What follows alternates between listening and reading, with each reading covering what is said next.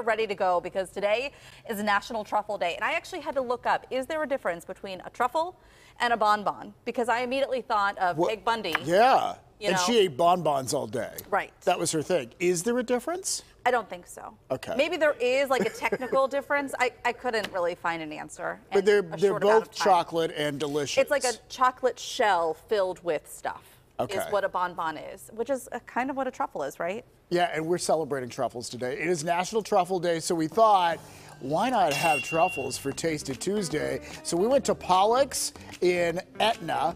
And so they supplied all this for us, and it, it just looks fantastic. And boy, people who are familiar with Pollak's Yeah. rave about it. They talk about this is a family operated third generation business. They started in 1948. Well, that's what I was going to say. Like, it, they've been around so long that generations of families have been going there to pick up chocolate Right. for special occasions. Um, Look at this box in the know, middle. Or just for whatever reason, like National Truffle Day.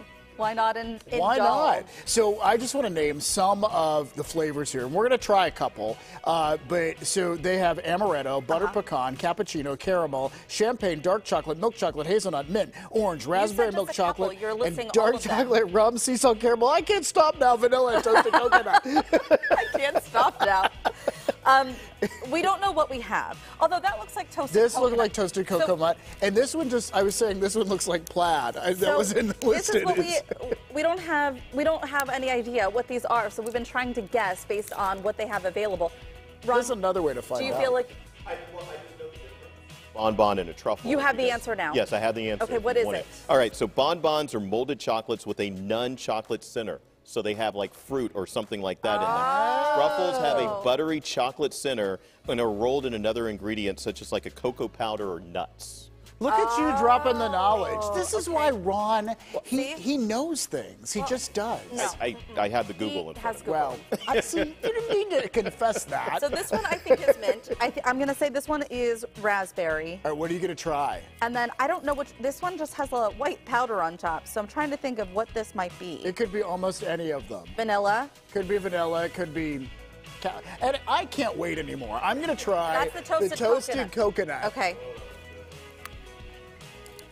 And what is it? Toasted coconut? Mm-hmm. All right. It's definitely toasted coconut, and it's delicious. Oh, there's nothing like chocolate. Oh, what a great idea, National Truffle Day. I don't know which one this is. It's just delicious. This. You know what? Maybe we should try one of every flavor throughout the show. Would that No, be too much? no. Would that be boring? You have to stop. You have to stop. it's okay. I'm gonna be pre-diabetic by 10 a.m.